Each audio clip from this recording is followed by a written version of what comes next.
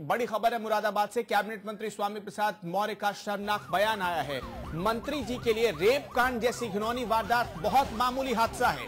शर्म आती है ऐसे मंत्री की बात करते हुए। दलित लड़की के साथ रेप कांड पर मंत्री जी की टिप्पणी सुनिए। ऐसे हादसे होते रहते हैं, ये स्वामी कह रहे हैं। बेटा पिता को और पति पत्नी की हत्या कर देता है। मंत्रियों की ऐसी सोच होगी, ऐसी नीच सोच। तो कैसे होगा क्राइम कंट्रोल योगी जी कम से कम ऐसे मंत्रियों की छत्र छत्र छाया में बेटियाँ महफूज नहीं है।